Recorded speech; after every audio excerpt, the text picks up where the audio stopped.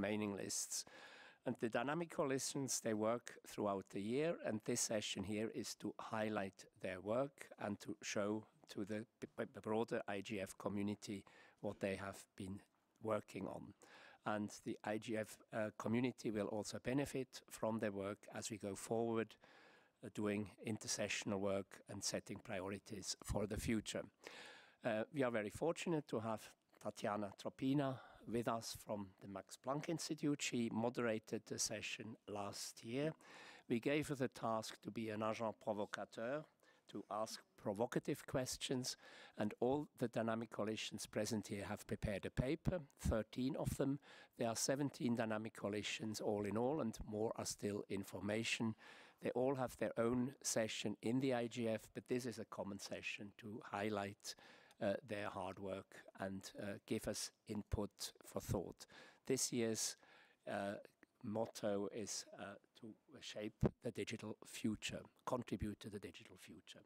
Tatiana, over to you. Thank you. Uh, thank you very much. My name is Tatiana Tropina. I'm from Max Planck Institute in Germany. And I think it's a shame that we're missing some of the representatives of the dynamic coalitions still, because I was going to start uh, with the tough questions to one of them, but apparently he's hiding his, himself somewhere, and I hope he will appear soon. So just as a short introduction, I don't know if you read all the 13 papers of dynamic coalitions, but if you haven't read them, I did, and I'm going to ask the questions based on the papers. And as uh, I wanted to start from the core, from the Dynamic Coalition on Core Internet Values, but I don't see the representative here. Oh no! So, um, Olivia, while you're, yes, we are starting from the core. And I think this would be my longest question to a representative of Dynamic Coalition, because I find your paper very interesting. You say that you're going to add the new value which you define as freedom from harm. Historically, freedom from harm referred to environmental regulation, to the health and safety issues, so strictly mandate of the government. You don't define this value, and interestingly, uh, you just refer to some, you know, broad uh, threats like IoT and so on. Don't you think that referring to the word harm um, in connection to something that traditionally was a governmental mandate can hamper your other core values? Because I believe there would be plenty of actors who would jump on the words freedom from harm to restrict, for example, um, um, openness of the internet or decentralization of the internet. Thank you very much. You have three minutes. You Thank you uh, very much, Tatiana. Um, so it's Olivier Crépin-Leblond from the Dynamic Coalition on Core Internet Values. Um, it's actually a question that we have spent considerable time discussing during our meeting earlier uh, this week. Uh, in fact, we went all the way back to the discussions of the World Conference on International Telecommunications, uh, WCIT 12, where there was a discussion about uh, the safety of the internet and the security of the internet and the uh, objection from several countries, including the country that I um, uh, was uh, part of, or, or the uh, delegation that was part of, uh, the UK delegation, uh, which objected to the safety or security aspect being hardwired in the, at the time, the international telecommunication regulations, and proposed language such as robustness of the network, which can be interpreted in various ways, but is not as dangerous, and I put that in quotes, as far as interpretation is concerned, for some governments or some countries to restrict freedom of speech and other uh, uh, rights and, and uh, um, uh, sort of have negative consequences uh, in, uh, in the, the development of the internet. So we discussed this at, well, for a pretty long time, and we have not reached an actual response for this. So we still keep as free, freedom from harm as being a placeholder for saying, well, devices should be secure or should have some form of self-securing mechanism of some sort. And I think one of the things that we've um, decided on doing is to work hand in hand with other dynamic coalitions, uh, in specifically, uh, specifically the dynamic coalitions on IoT, Internet of Things, uh, because they've worked on an ethical framework, uh, which I'm sure uh, Martin will tell you about, um, and that could be something that will actually uh, help us in our definitions as well. Thank you. very much, especially for being so quick. And I'm going to turn to Martin, with whom you're going to collaborate closely, I believe. But I don't. I'm not going to ask him about ethical framework. I'm going to ask you, Martin, about your work on transparency and accountability framework.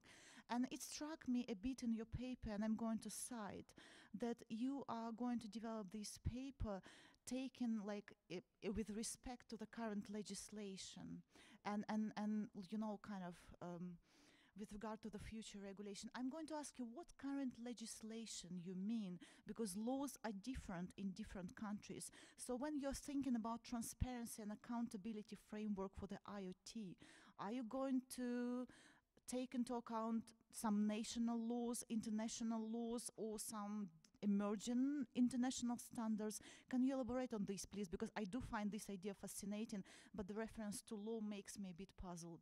Thank you Thank you, Tatjana, uh, and thank you, Olivier, because in a way it does link back to uh, ethical framework in the end. Um, I think taking, uh, respecting uh, legislation means that what we try to do is not coming instead of legislation. Uh, we're not uh, thinking we can uh, reset laws across states. It's really about developing a way forward that will serve the world if we talk uh, that on a general level, it's it's a very general framework where you have to use terms like ethics in the understanding that it means different things in different parts of the world, if in the understanding that values are different. So you have, but still you need to have this understanding at the global level that uh, after that is uh, implemented locally. Uh, preferably in a multi-stakeholder way, because that's what works best in this society. Um, with respect to transparency, uh, uh, it's a precondition for accountability. If there's no transparency, how can you keep anybody accountable for that?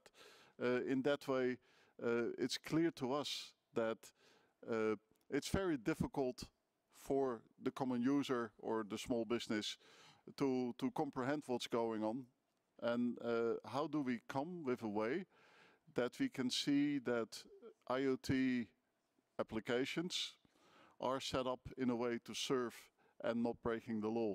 How can we check into commercial source code, for instance, in a way that is trusted by the users and that's also acceptable from a, for, from a business perspective, or acceptable, at least the feeling that uh, this is a trusted way forward.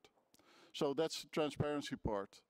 And uh, following that accountability will be not only for the industry, but in a way for the whole chain of users, in which we do need to understand that we cannot expect, for instance, end users to be accountable for complex things. So it's up to the service provider to provide solutions for which people can take their own accountability in a way just like healthcare. Uh, you can not make general practitioners fully uh, accountable for somebody being healthy. That person need to be something about it themselves too. But you shouldn't expect them to operate themselves. So I'm sorry, I, I think I still have 15 seconds to ask you. Please don't use timer this time. So you're basically referring rather to the spirit of law than the letter of law, right? I, I think it's the principle that we are not thinking that we are uh, uh, overruling uh, local legislation. Thank you very much. And I'm going to turn another question about the law to the dynamic coalition on blockchain. I saw that you raised so many interesting issues in your paper, um, referring to different problems and, and discussions around blockchain. But the, you know, these discussions on blockchain and regulation in the last year made so many headlines. And here I'm going to cite a bit. Uh, you say that you are considering the issues on whether and how law can provide guideposts for blockchain governance. Could you elaborate a bit on the position of your dyna- dynamic coalition on blockchain law and governance?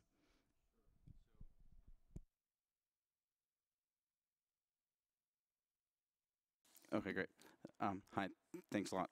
Um, so, firstly, let me say that kind of uh, fundamentally, blockchains are software running on a bunch of computers on a distributed network, usually the internet. And so there's a bunch of different processes that are involved in blockchain governance. There's the processes that govern the nodes, uh, what and choose what software they run, and there's processes that govern the software repositories. Uh, and there are uh, governance uh, institutions and norms that form around the processes that govern nodes, who all want to be connected so that they can peer and be, have a useful network.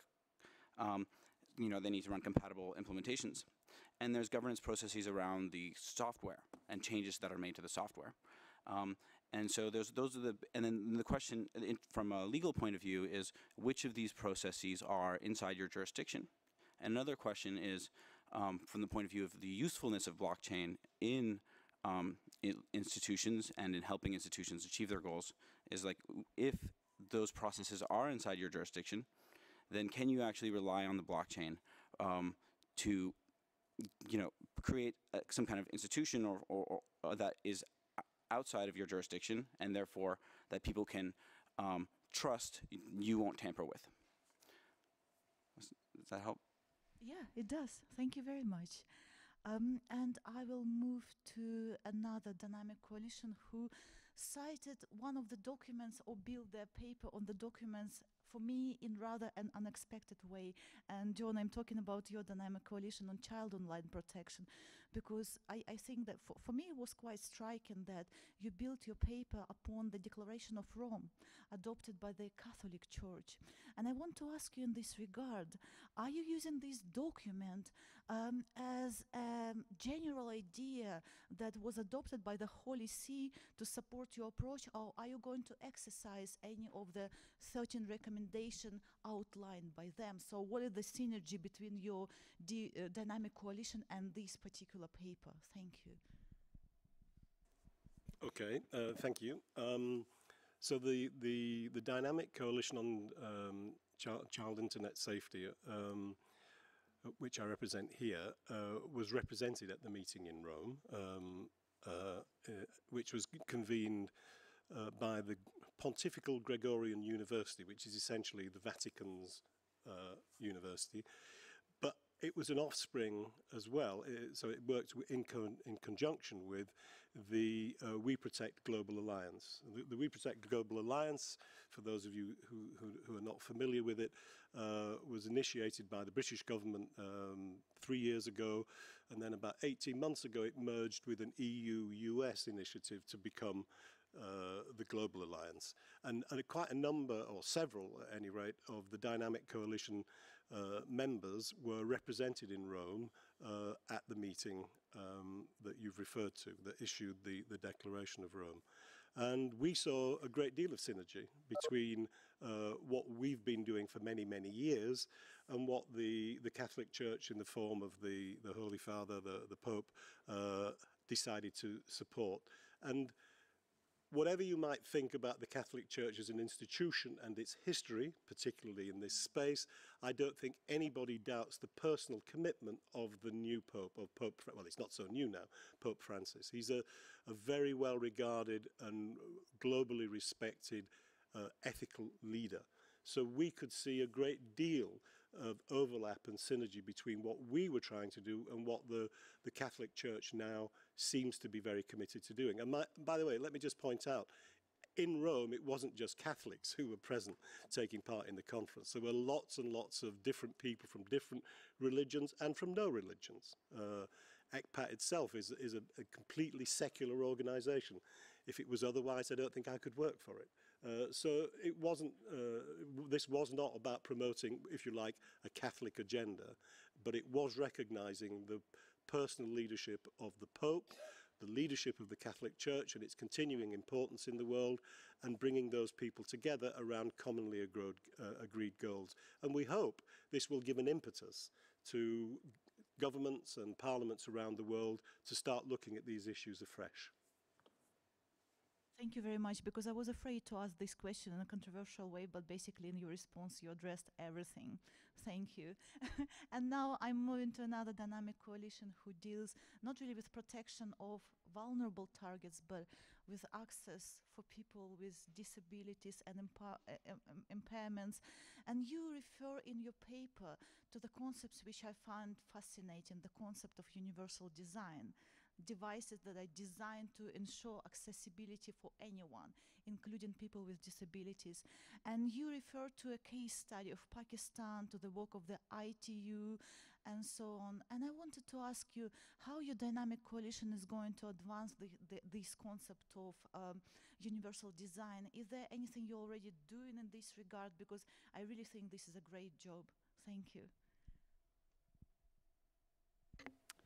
Yes, uh, th thank you. It is a, a great question, and and uh, it is something that we are planning to discuss in our uh, upcoming uh, meeting later today. And um, I, I, personally think that more uh, discussions, more connections with other dynamic coalitions is really important. We had a session yesterday where uh, we had the participation of uh, Martin Botterman from, from the Dynamic Coalition I IoT, where we're talking about um, IoT accessibility.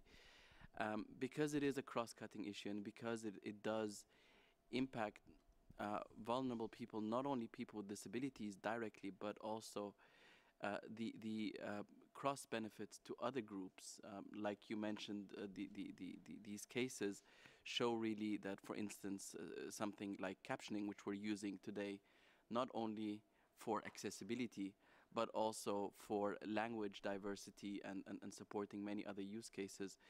So I think um, with all these developments that we have, um, all the speakers uh, in, in, in the prior um, um, uh, sessions now, uh, uh, sorry, the, the, prior speakers, um, all these developments that we're seeing, be it IoT, uh, be it uh, blockchains, or, or even uh, the, the aspect of decentralized web and net neutrality impact people with disabilities very greatly. And I think we need to do more efforts here in having the dynamic coalition uh, more integrated. It's a cross-sectional aspect, more integrated in other dynamic coalitions. Thank you very much. And I'm going to move back a bit to a legal side um, and, and, and, the issues of responsibilities and regulation. And Nicolo from uh, DC on platform responsibility, I have a question for you. You're making a very good point uh, and very interesting point about us given so much power and so much information to the platforms so they almost become regulators. While you're making this point, I, I, really want to ask you, do you see any remedies against this? Can this be remedied? What is your opinion on this, UDC? Thank you. Thank you, Tatiana. Um, so uh, in, in this um, output document, we uh, analyzed different range of policy options that are available to address um, the basically delegation of powers from governments to uh, platforms and how to ensure the maintenance of uh, human rights in this framework. So um, I just want to make the point that we don't uh, suggest that regulation should apply, you know, regardless of the context. Uh, we should make sure that there is a market failure before there is actual uh, regulation. Uh, but there are other modes of intervention which can be um, up to uh, address the market failures, um, taking into consideration um, the context. So uh, one of the possibilities is to adopt uh, co-regulation. So you have some principles laid out by the government according to which uh, platforms should operate within boundaries. Um, another possibilities to um, impose a secondary liability for uh, uses that are made of the platforms. Um, so this is also not strictly speaking regulation like command and control regulation, but is another way of intervening. And then there is a possibility of self-regulation. But in the case of self-regulation, the state should not simply absolve its responsibilities by delegating it to uh, the market. It should maintain an adequate supervision um, over this process. And it should, in particular, ensure that there are concrete mechanisms for remedy, uh, because this is a joint duty that uh, businesses and governments have according to the Ruggie principles on business and human rights. And I have a couple of suggestions with regard to concrete mechanisms that are being discussed by the Dynamic Coalition. Um, so the first one is a trust framework um, that allows consumers to be empowered by not having to read all the terms and conditions, but um, enabling the rise of third parties that, much like in food and pharmaceuticals, will determine which um, kind of information is unfair uh, to uh, provide to consumers in terms of service. And the second mechanism, which is increasingly being discussed, is the right to explanation for uh, any automated decision making that significantly impacts individuals. This is in the European Data Protection Framework, and I think platforms should provide an API that allows users to engage into requests for explanation uh, so that we have a personalized transparency, much like we have a personalized service. Thank you very much. It's incredible how much one can explain in three minutes. Thank you, Nicola. Um, and I found another uh, interesting point on the digital platforms. In the paper um, of the DC on gender and internet governance, Bishakha, I very much liked um, in, in, in the paper of this dynamic coalition the notion of consent for women, for women, this two-tier notion, consent for production of anything and consent for distribution of anything. And you also say in the paper, your, your coalition says in the paper, that the, the law will probably not solve this problem. And there is a need for digital platforms to build in these um, ethical norms into their operations. I'm wondering if your dynamic coalition has already some thoughts about how make digital platform doing this. Um, are you going to cooperate with any digital platforms on promoting this? Um, so what kind of what kind of actions are you taking in this regard? Thank you. Asking a very provocative question. Um, I think for us, what we would really like to explore uh, is, you know, people are already talking about privacy by design, right? And consent is sort of related to privacy. So I think what might be interesting is to explore the possibility of actually thinking about consent by design. How do you actually get platforms to think about consent not as an add-on or not as a technicality which is not meaningful in the way that it is actually implemented, but how can we get platforms to really think about their users in a way in which consent gets embedded in the design and the architecture of the platform. Because quite honestly, I think what laws help us is with dealing with violations of consent after they have occurred. But that cannot be, the solution cannot be that it will continue to be a violation and the law will address it. So I think what we need is to think about how do we prevent consent from being violated in the first place? And also, how do we build in an ethics of consent? Is there a way? I mean, often the violation occurs on a platform of consent.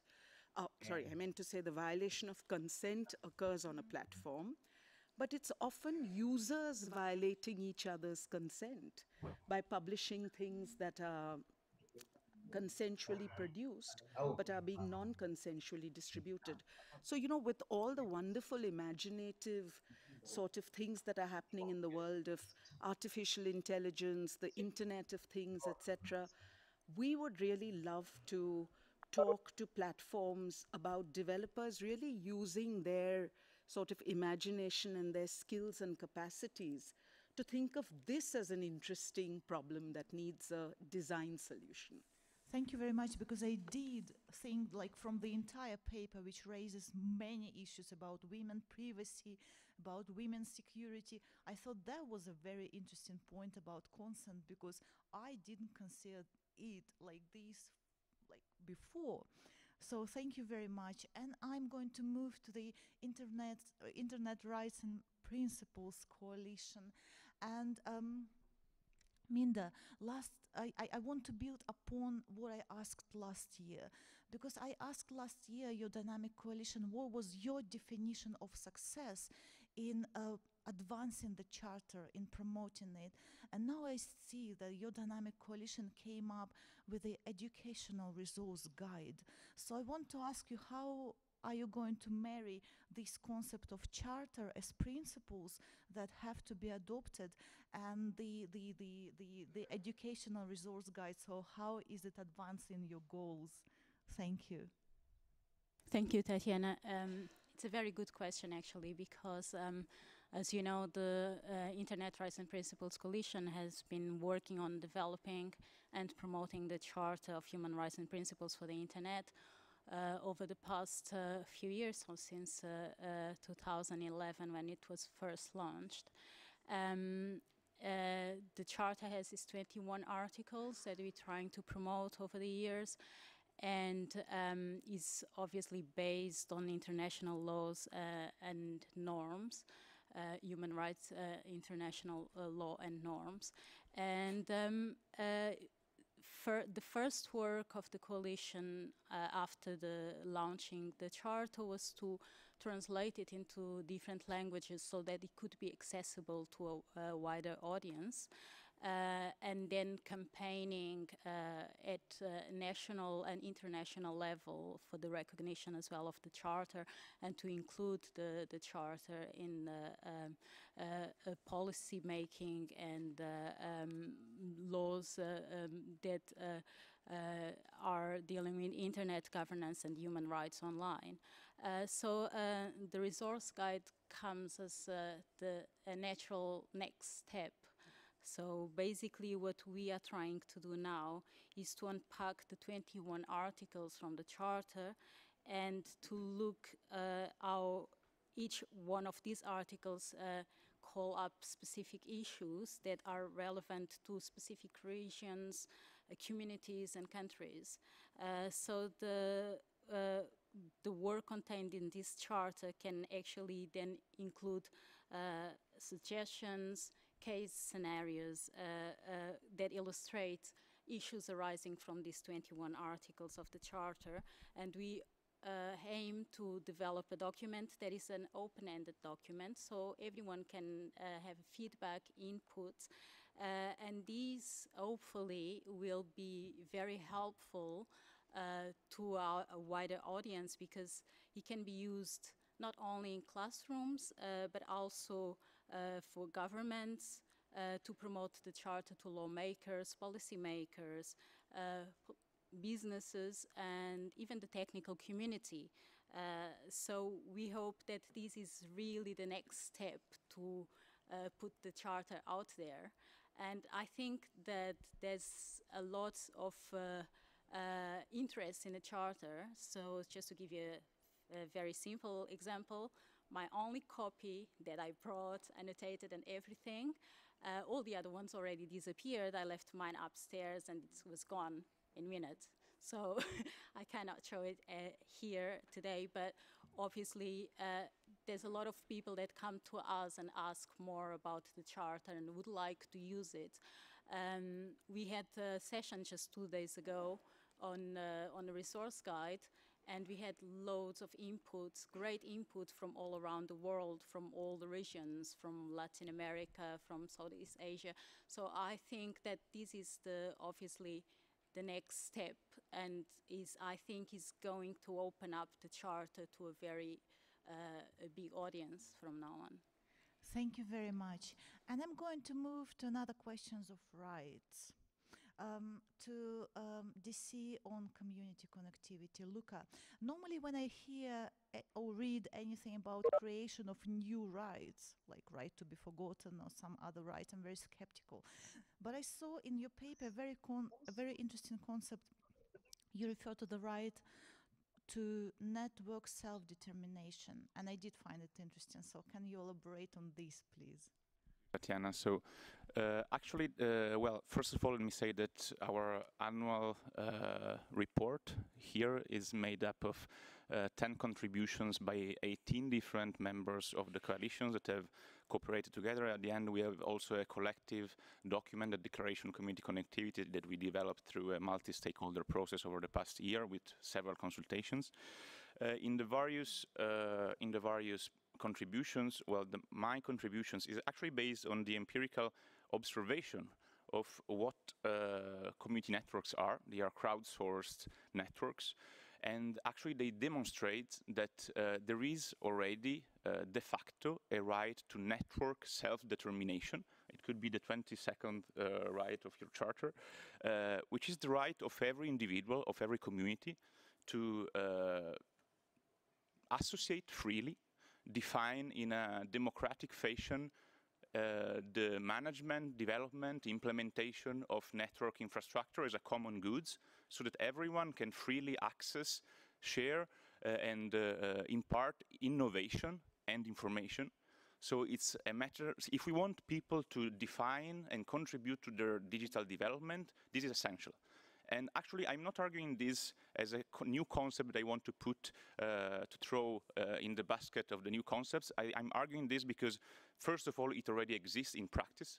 I analyze in, the, in my paper also the positive externalities of network uh, of community networks. They not only provide access to the to the internet, they provide they create new social bonds in the community, new an entirely new economic ecosystem with new services, uh, new creativity, new application, empowering women because women get involved in the creation and the the, the involvement in the establishment of the network, creating new jobs. Guifi.net, which is the, the biggest community network, has created more than 100 direct job of people that maintain the network. And this is based uh, on what already exists juridically at the international level, both the first uh, article of the uh, Declaration on, of, uh, of, of, Human Rights, the Universal Declaration on Human Rights, the first article of the uh, International Covenant on Civil and Political Rights, the first article of the International Covenant, Covenant on Economic, Social, and, and, and uh, Cultural Rights recognize the right to, self, to self-determination as the right to pursue one's economic and social development. And this is a right of choice and the right of process. It means that people are right, uh, have their fundamental right to define how they want to evolve economically and socially, and states have the positive obligation to allow them to do so. This is precisely stated both in the Article 1 in the Indent 3 of the both covenants. So this is already something that exists juridically, and I think everyone should have the right to do so. Thank you very much, Luca. And um, I'm moving from the DC on community connectivity to another dynamic coalition which mentioned community networks in the paper.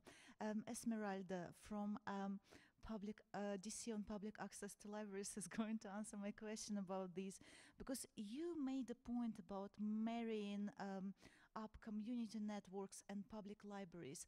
And you made some examples, I think it was Tunisia and Colombia, but it wasn't exactly on this issue. Um, I'm going to ask you how is UDC going to advance this marriage? How UDC is going to facilitate this marriage between community networks and libraries? Thank you.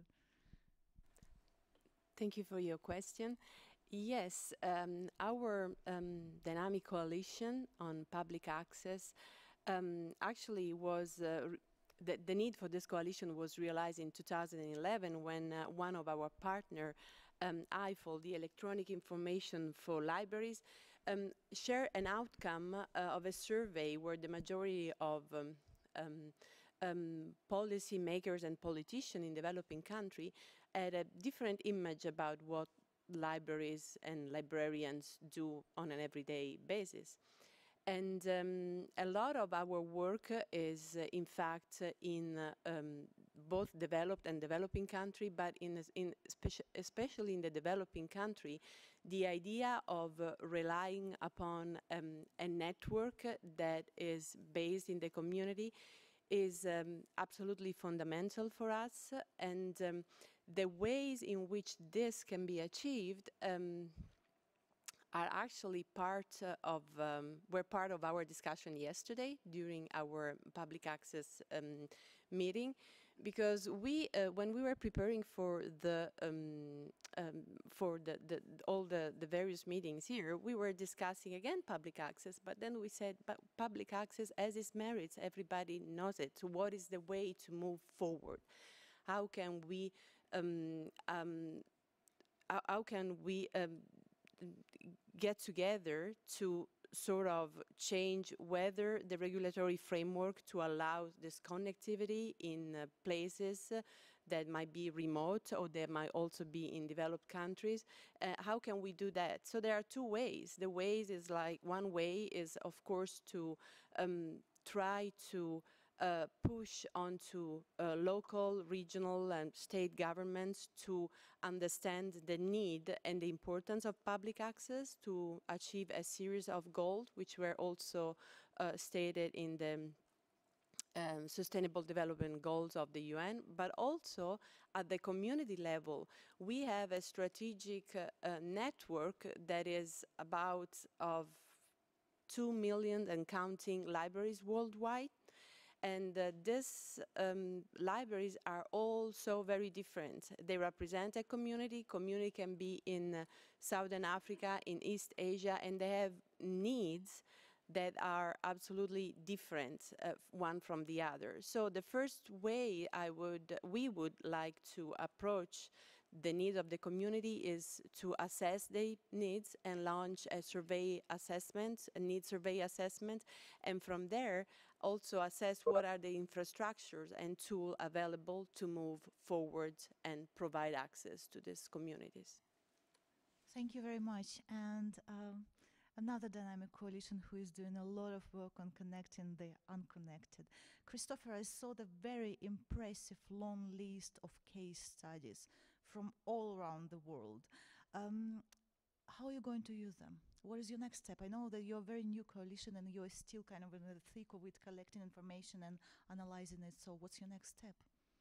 So the next step is to uh, continue to consolidate the information and to begin to analyze it. For those of you who don't know, our dynamic coalition is dedicated to a, a cause I think that everyone in this room shares. there are 7 billion people in the world. Only half of them are online, and adoption rates are slowing. And it's not for lack of innovative experiments and ways to connect people. There are, there are hundreds of them but no one is studying them in a systematic way. In particular, no one is collecting data about what works and what doesn't work. And even if there is data collected, it's done in a random way that is not consistent, that allows pro cross-project comparisons. And so our commitment is to really to try to lay the empirical foundation for decision makers, whether they're ministries, or international finance communities, or what we're finding is even social impact investors on the private side are very interested in this idea, to try to pull this together and to analyze what models are working and what won't work. Um, and what isn't working. So we are spanning both demand side and supply side interventions because as anyone who knows this space, uh, the idea if you build it, they will come has not been true that uh, digital literacy and interestingly, maybe a blind spot for people in a program like this, many people in the world refuse to adopt because they don't see the relevance of the internet for their daily lives. And so these become major issues as well. And we're also looking for scalable and sustainable models. If we're going to get three and a half billion more people on, grant programs and social corporate social responsibility programs are very generous and an important part of it, but they're not going to lead to three and a half billion more people. So um, we've worked with, we're co-conveners of Connecting and Enabling Next Billions here in the IGF. We're working with the best practice forums on gender. We're working with equals. We're working with best practice forums on local content. We have disability access programs, and we're, we're studying everything to get other communities in. And at this point, we have identified 750, roughly 750 uh, interventions spanning 150 countries, and they're all available on a, a database available through oneworldconnected.org. We are not just doing that, we've contacted all 750 and are conducting case studies with everyone who's willing to do so. We've developed 120 case studies spanning 50 countries at this point. And all, I confess, we migrated the server, only 25 of them are online right now, but all of them will be online early in the new year of those 120. And so what we're finding out is that, in fact, what we need to do is that, in fact, there's not one solution urban areas which uh, face uh, with challenges on digital literacy or poverty are different from mountainous or island societies. You see different levels of, of support, different pre-existing infrastructure. And what we're going to have to do is develop template models of basic learnings to distill once the full data set is in to find out what works and what doesn't work. Last thing I'll say is the big step is to move outside communications ministries to health, education, and particularly finance.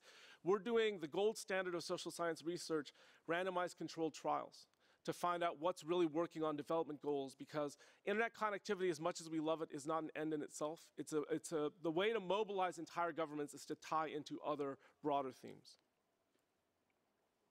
Thank you very much. And another dynamic coalition, dynamic coalition on network neutrality.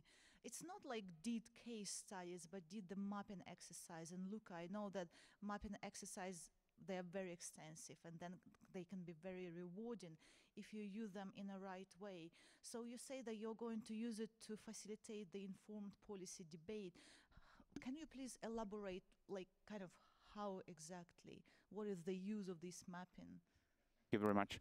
First of all, uh, I forgot in the previous intervention because I had too much, too many things to say that I would really want to publicly protest against the MAG decision to slash our uh, time slot from 90 to 60 minutes because if you work over the entire year and you have to present a work and collect feedback and debate it, 60 minutes is really not enough and 90 minutes maybe is not even enough, so we should have maybe more, but at least equally to the other time slot, not less, because it makes it very difficult to have a, con a concrete conversation and collect feedback.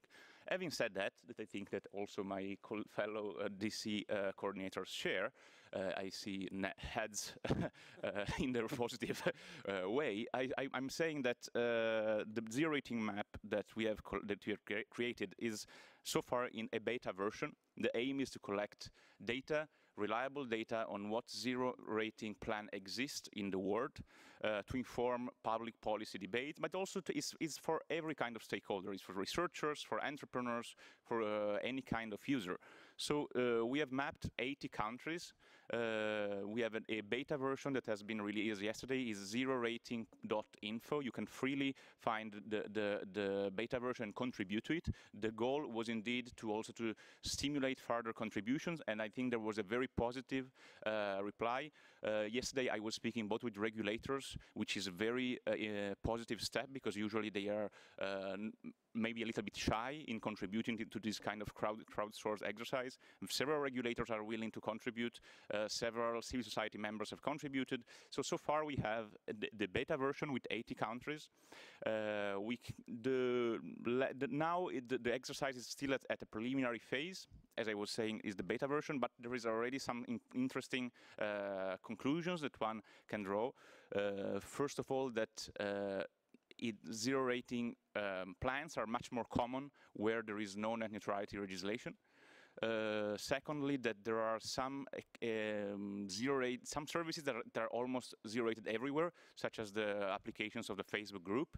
This is primarily due to the fact that in the majority of countries we have examined, uh, there is the notorious free basic program where Facebook is always a must. Uh, thirdly, uh, it is uh, very well. It is what I last year I called in the, in the, the previous section of the Dynamic Coalition the minitelization of the internet which is turning the internet from a general purpose network to a predefined purpose network, the combination of uh, limited data caps and a selection of services that is that spans from 3 to uh, 15, 20 may, maybe, means that the user will only use the, will primarily use the 3 to, 50, to 20 services that are sponsored, and the rest will not be used or only a limited use. So the user, rather than being a prosumer that can produce innovation, can share innovation freely, it's only a consumer of the uh, sponsored services, which, which is a pity, and I don't think is the direction we want to move to forward to if we want to let people build their digital future. Thank you very much, Luca. And unless I forgot someone, I'm going to move to the last and the newest dynamic coalition, which is Jeremy Malcolm from DC on trade. And Jeremy, um, your paper is very impressive. I saw the full report, I saw the summary, and you say that you are developing recommendation for participation of diverse stakeholders in trade negotiations. And I know that there are different issues even within stakeholder groups right now. I want to ask you, because you are the newest coalition, right? Uh, what would be your what I call definition of success for the next year of work. How are you going to advance these recommendations which you make? Thank you. Well, we had our inaugural meeting um, yesterday, and uh, one of and part of the meeting was to uh, finalize our recommendations on transparency and inclusiveness of trade negotiations. And in a way, that was the easiest thing to do because there are the fewest differences within um, our community within any of the stakeholder groups on that. I think if you're participating at the IGF, you inherently realize the value of multi-stakeholder participation. So there's certainly um, a pretty easy consensus uh, on that, but it becomes more difficult when you um, have to reach consensus on substantive issues, like, for example, should the promotion of um, the free flow of data in trade agreements be um, uh, encouraged, or do we have concerns about this? And if so, what are those concerns? So I think over the next year, we will be trying to um, reach more consensus or more understanding, at least, on what should be the limits of the free flow of data online and um, should any of those limits be um, negotiated in trade agreements. Um, one of the other things that we want to do this year, and one of our definitions of success will certainly be to um, extend the membership of the coalition to include more members of the trade community. We have plenty of members of the internet governance community, but I think our outreach to um, to trade uh, lobbyists and negotiators is very important. Um, thankfully, just since yesterday, we have had a new government member join, so I think already we're showing some progress um, on that count, but that will be um, one of our main metrics of success over the next year as well. Thank you very much. And as we haven't exhausted your time, well, I think I might ask the question later, put myself in the queue for the general questions. And I think, yes, this is it. I think, um, is anyone from the Dynamic Coalition wants to add something? Because we, you had only three minutes. Yes, please.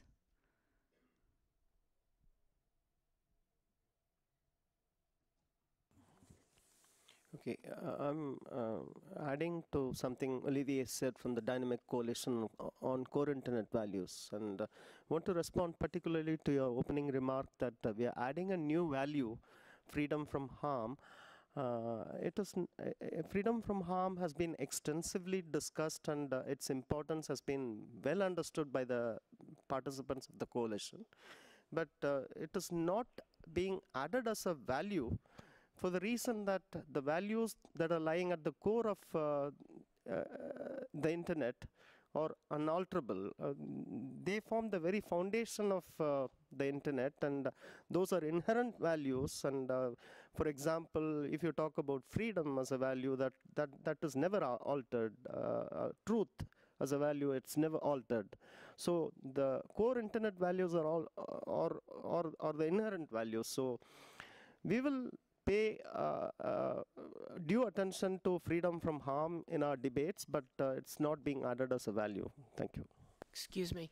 Uh, so that your name isn't entered, this is Doria speaking, so that your name doesn't enter the record as a question mark, please remember to give your name when you start to speak. Thank you. Yeah, thank you very much. Um, are there any further questions? Because I think that we finished the intervention from dynamic coalitions and I would really like to open the floor to whomever who wants to add something, ask something, grill these people sitting here because that's what they are here for. Um, yes, please. Yeah, um, I just wanted to echo the multi multidisciplinary or like cross dynamic coalition sentiment uh, as it's related to blockchain, because blockchain actually poses significant risks to many of the goals uh, we we talked about here, being censorship resistant, being difficult to govern and control, uh, and and that being actually one of the the ways that it provides value is that it's difficult to interfere interfere with. Um, you know, we definitely need to chat about how blockchain will inter, inter, interact with your missions. Uh, thank you very much, Martin. Uh, you're the next. Thank you very much. For me, what we've been doing here over the years is very much a complement to uh, necessity, and that is to make sure that decision makers in their decision making don't make the mistakes that uh, were not foreseen, so the unintended consequences. Uh, so in that way, we are working on developing a good understanding of good practice in, in all our areas over time. Um, I think it's very important for us to also ensure that we develop it beyond the groups that we are in at the moment. Uh, I call for clear attention for uh, getting out there with it and by trying to find other platforms and, and, and powerful partners that can help develop the faults further, but also spread the faults. Because it's great if you have great papers on good practice. It's even better if they're used. Uh, thank you very much, Christopher. You are recognized, but can we just because the, I, I think there was a question from there, right? C- can we first accept the question because I think they right their hand before you. Uh, thank you, Andrea. And then you're the next. Thank you. Uh, this is Andrea Saks. I want to emphasize something that I think is extremely important regarding accessibility. Am I not close enough?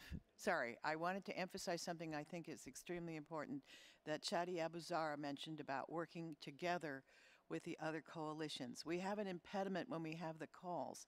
We really need to find a way to finance captioning so everybody can participate in the calls because I would be very happy to work out something with the organizers for that because I know there's a financial impediment to this.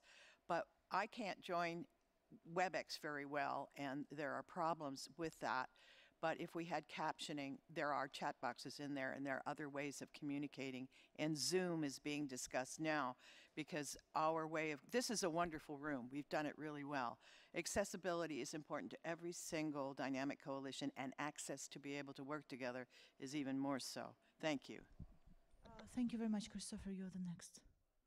very much. Um, uh, there's one other answer I wanted to give to your initial question. Another way we're going to take the work to another stage is we've invited project teams to come here and actually tell their stories in the first person. We actually have nine project teams who are actually building the internet. And I think many of what we do here at the IGF is at a very high level. And I think we benefit from that. If you came to the CENB session on Monday, you heard from four of them. We have a session tomorrow at 1040 in room 12 where we have five more teams to tell from all different continents of the world to tell the story about how they, the challenges they face and the, the things that they overcome. And I couldn't be prouder of them. And if you want to continue to get information about these stories, oneworldconnected.org, and that's with the number one, not the word, has a blog. It has all the stories, and we're having a platform for all the great work that they're doing. We have a Twitter feed, we have a YouTube channel, we have a Facebook group where we're pushing out all the content as much as possible because I think these are great stories and they need to be told. And I think that everyone in this room understands the importance of that more than anyone. Uh, thank you very much. Yes, please. Thank you. Khalid Ibrahim from the Gulf Center for Human Rights. Uh, I have a question for the Dynamic Coalition. Uh, do you have any initiative uh, to reach out to some regions that I feel strongly that they are underrepresented in this coalition? For example, I, I really we have little information about your activities in the MENA region. So my question to the Dynamic Coalition and the other coalitions that uh, they made some uh, presentation just now, uh, do you have any initiatives to reach for uh, the MENA region or other regions? We just feel that we are not well connected to you. Thank you. Uh, thank you very much. Any of the Dynamic Coalition wants to take these questions about your co- cooperation, collaboration, participation from, from, from the MENA region? Uh, yes, please.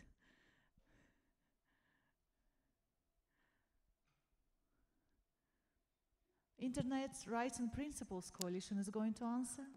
Uh, Hanan Boujemi, uh, co-chair of the Internet Rights and Principles Coalition. Um, I think this is a perfect space for everybody from all around the world to come, you know, to exchange stories and experiences.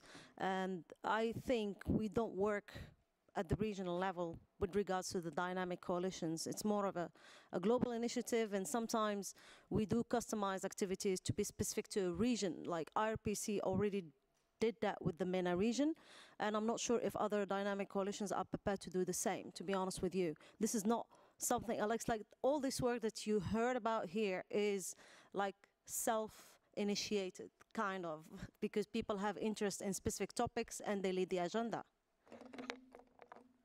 Thank you very much. So it's not like any of the dynamic coalitions.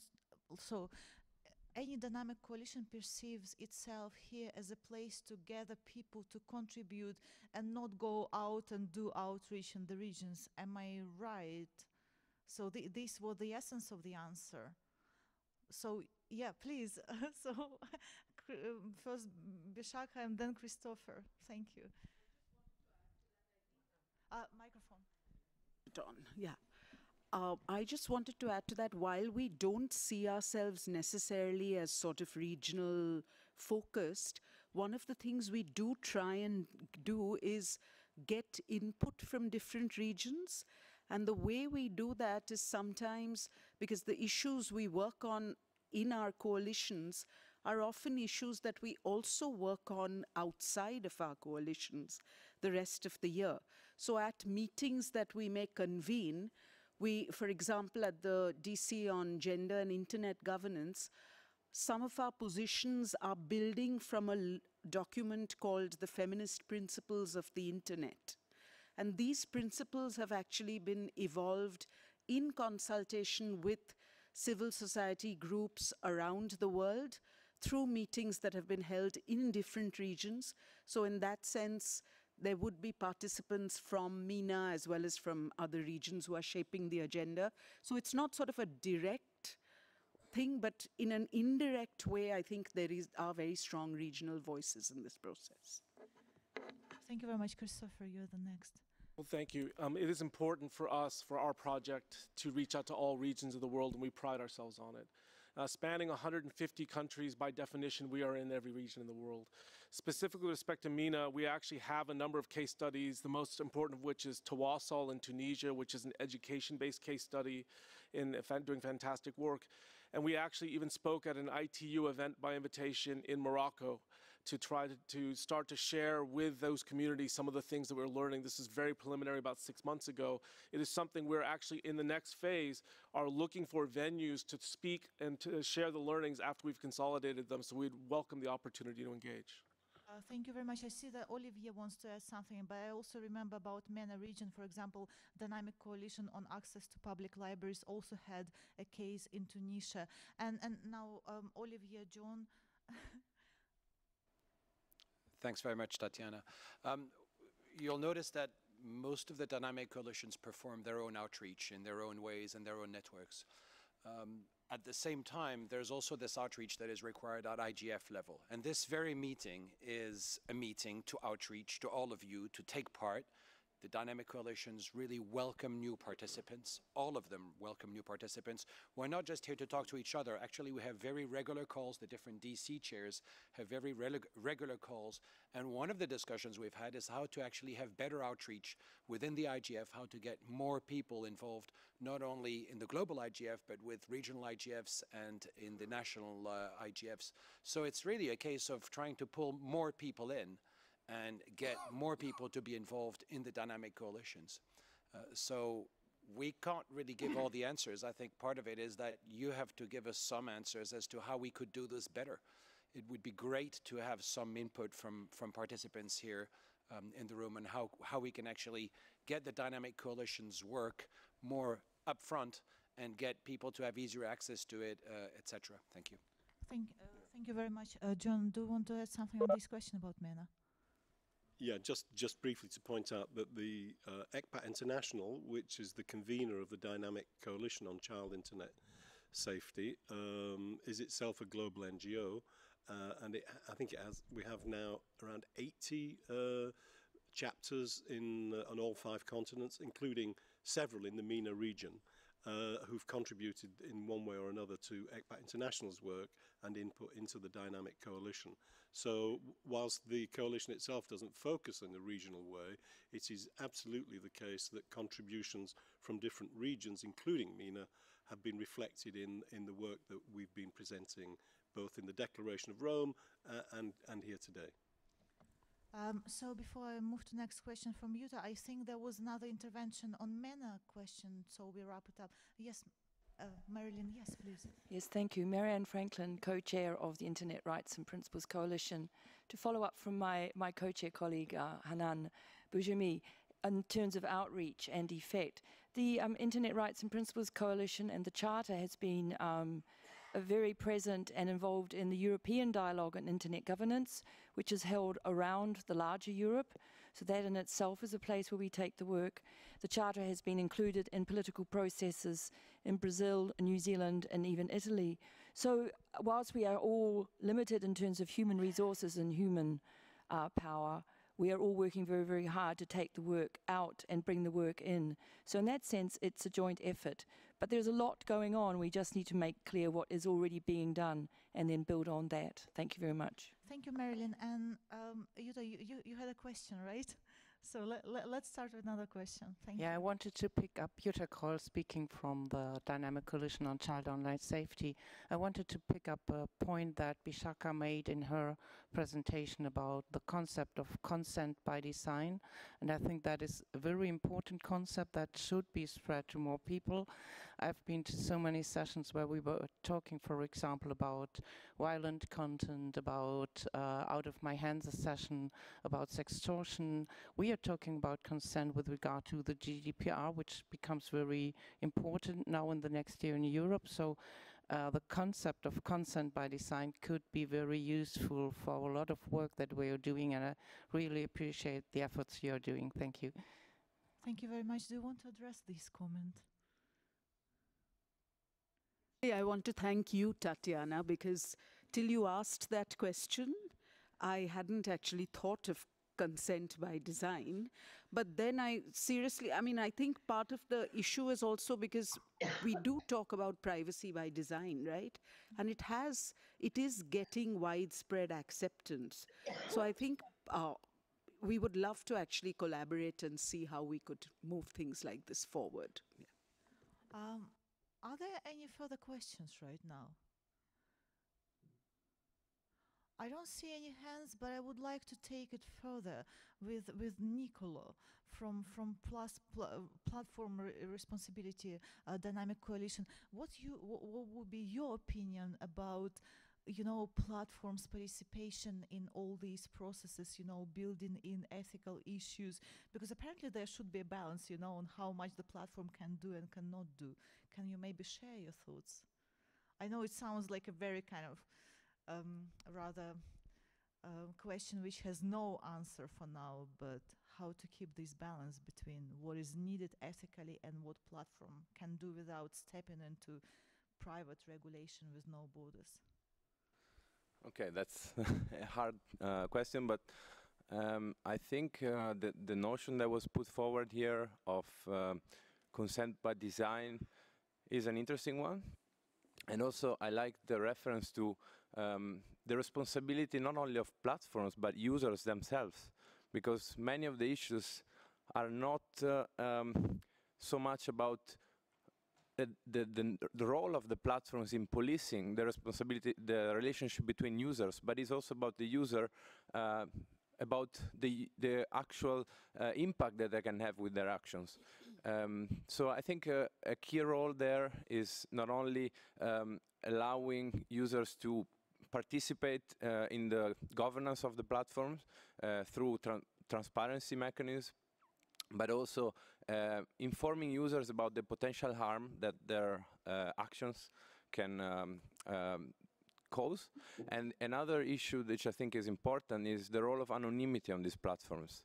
Um, this is a, a, key question because uh, many of the hateful uh, speech that you see on these platforms is generated by um, individuals who feel that they will not be caught. So uh, should platforms preserve a full anonymity for users? That's one of the key questions that we have to grapple with in the years to come. And I don't have an answer, unfortunately, to that. Thank you very much. John, you wanted to add something? No, it was a question.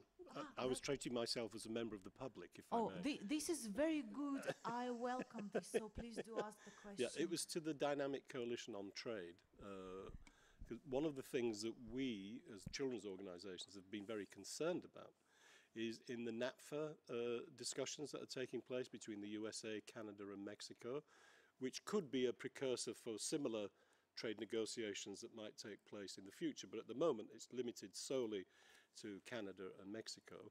Uh, in the first drafts of the documents that the State Department have presented to the Canadian and Mexican government, there is a proposal to replicate Section 230 of the Communications Decency Act of 1996, a clause which is thoroughly discredited because of the way that it's protected back page, for example, and in fact is on the verge of being amended by the uh, US Senate, uh, finally in recognition of, uh, of, of, its inadequacies. So I wondered if that was the kind of issue that your uh, coalition was, was interested in, because we're very concerned, first of all, that it doesn't appear in the final text of the trade agreement between America, Canada, and Mexico, and that it certainly doesn't appear, by the way, speaking as post-Brexit Britain, I'm guessing that when we try to get a trade deal with the, the United States ourselves, we certainly wouldn't want anything like that to reappear in it. Is, is that the kind of thing that you're looking at or, or could look at? In which case, if it is, I'm your friend. Really will be my friend after uh, you hear what I have to say about it. Um, okay, cool. Um, so, Section 230 of the Communications Decency Act, for those who don't know what it is, it's a provision of US law uh, which is basically a safe harbor for internet platforms. It means that they are not liable for the speech of their users. In other words, if a user uploads content to a platform that might be defamatory or it might be um, it might be a, a, a, sex advertisement that might be um, uh, exposing the it might be illegal for the user to do that, but it isn't illegal for the platform to host it because the platform is not treated as a publisher of that content. They're treated as an intermediary.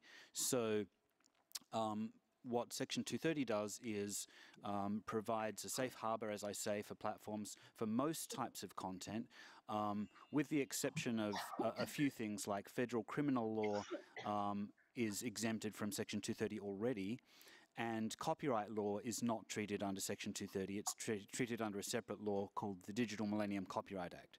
So with that explanation out of the way, um, the issue is whether this uh, provision of US law should become a regional standard in the NAFTA agreement. And um, Mexico and Canada at the moment, and this is the good news for you at least, I think, um, are opposing that um, because their law doesn't work in quite the same way. They do have um, conditional, uh, I mean, platforms are not automatically liable for their users' content, but neither are they automatically um, given protection from liability. Rather, the courts in Mexico and Canada will take that on a case by case basis. They will look at, for example, has the platform encouraged or um, become aware of and somehow assumed responsibility for a user's speech on the platform. So um, I think yes, in answer to your question, this is an issue that the Dynamic Coalition could take up, but whether we would come down on one side or the other, um, I'm not sure. I mean, it is an issue probably where it would be difficult to reach a consensus. And in those cases, we, at the moment, we've started um, by avoiding such contentious issues and focused on the ones that are more easy, like, as I said, transparency and participation. So um, I uh, I'm not sure. I, I, think there is merit in at least discussing it and exploring the areas of possible consensus or possible disagreement.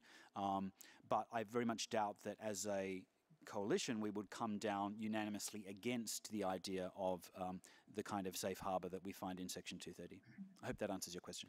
Uh, thank you very much. And I see that Nicolo has uh, either question or comment up from that, since we are talking about platforms, uh, I cannot refrain from uh, um, just mentioning that I think here what we're talking about, Section 230, is one of the um, hot issues of discussion in the United States at the moment, uh, because for about 20 years, this has served, um, according to um, the, the, common understanding of this safe harbor, it has generated a lot of innovation.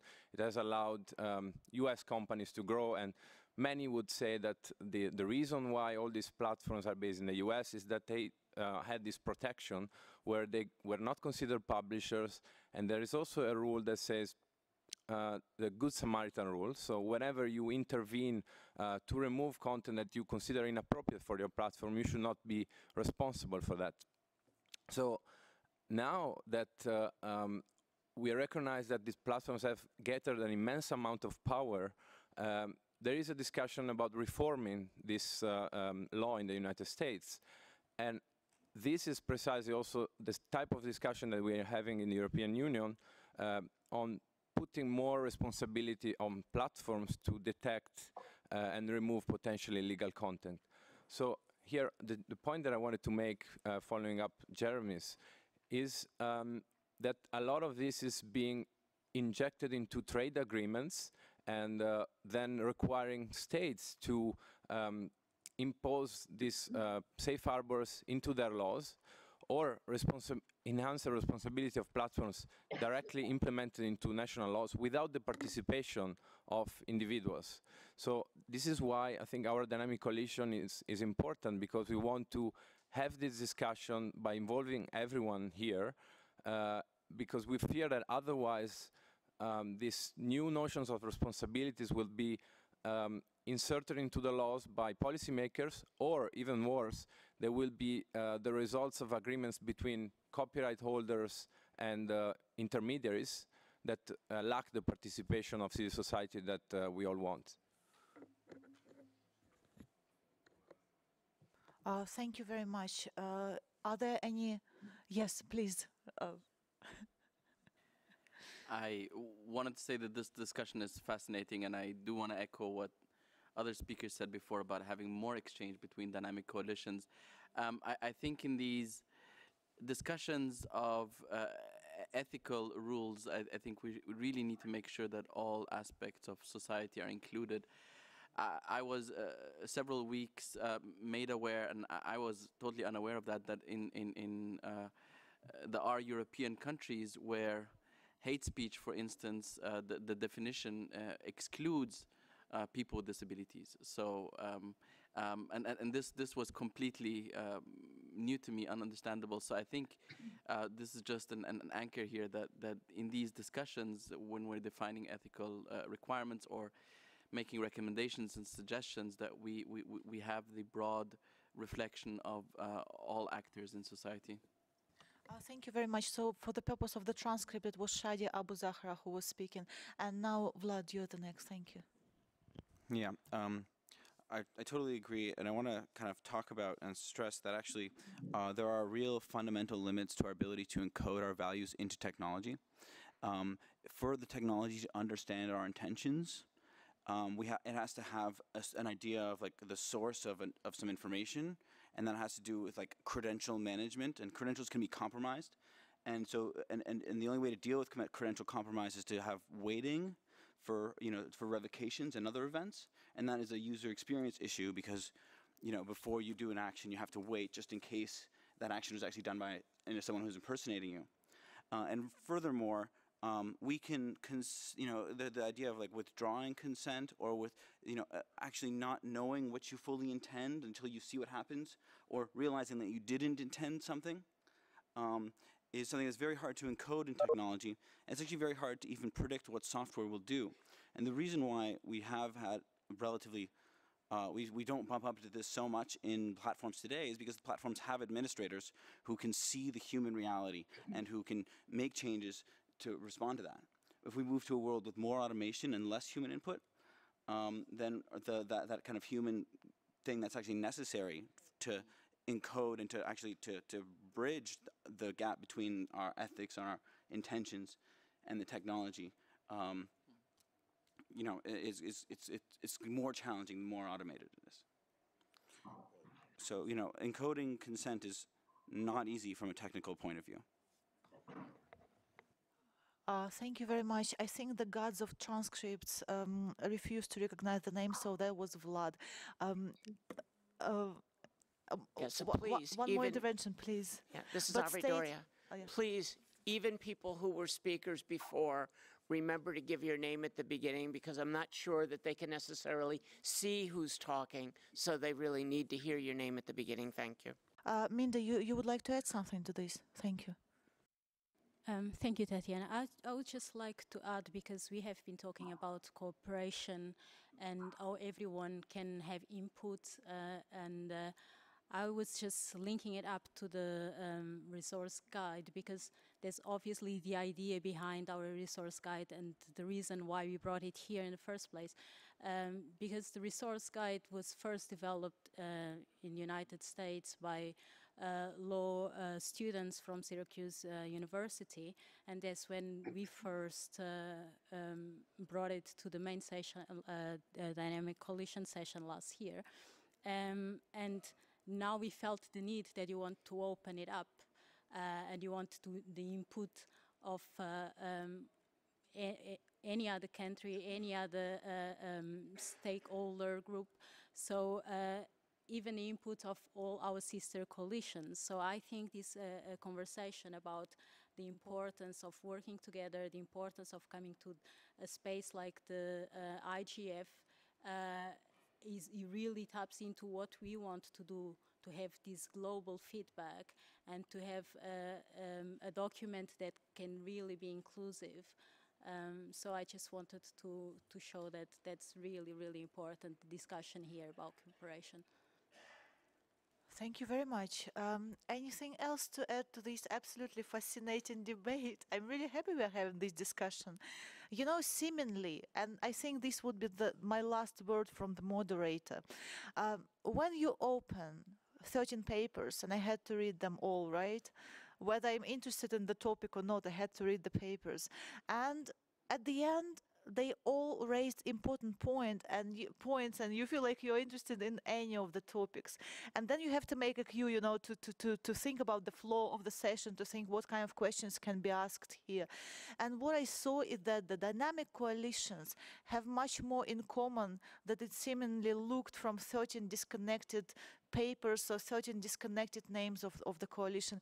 And I'm glad that like so many of you had something to say on, on, on, on, on, on several issues. So thank you very much. And with this, I think we will be um, running out of time soon. I would like to give it back to Avri and Marcus. Thank you. Thank you. Avri Doria speaking. Um, I, yes, I want to thank all of the the dynamic coalitions that went to the work of putting up these papers. I want to thank everybody that commented on the papers. I'd also like to mention that the papers are still available, that they are still open to comment. One of the things that really impressed me, and this builds on what uh, Tatiana said, is, is the commonalities, the, the, the common themes, the, the threads running through, the notion of consent, jurisdiction, uh, and, and, and such. I, also think we got a couple messages to take back to, to the multi-stakeholder advisory group, the MAG. I'm in my last day of it, but I'll take, or actually next to last day of it. Um, and I'll take the message back that one about the, the time and the importance of the time. I think that the dynamic coalitions that, that grew up very independently have now begun to coordinate and, and, you know, come up with a certain commonality are an important basis, an important sort of ongoing engine, a continuity for the IGF that's important.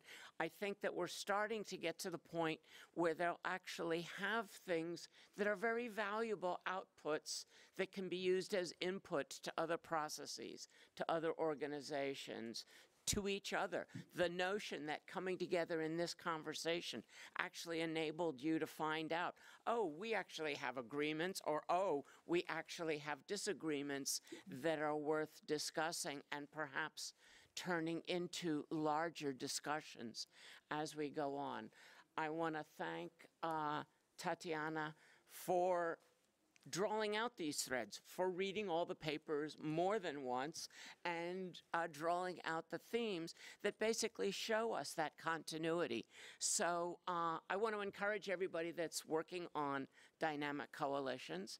I think I'll actually be working on a new one that's forming here, and so I'll be involved even next year. But as as uh, in one of the the the, the, the, dynamic coalitions and I, I actually, since I will cease being the co-facilitator of the Dynamic Coalitions Group, I want to thank all the Dynamic Coalitions and my partner Marcus in basically uh, the partnership over the last two years, the work we've done to basically take Dynamic Coalitions sort of out of the basement of the IGF and really bring them into a certain amount of visibility and let people see how incredibly valuable they are. Thank you all. And I end this session so that we're in time for the next session to be able to set itself up. Thank you all.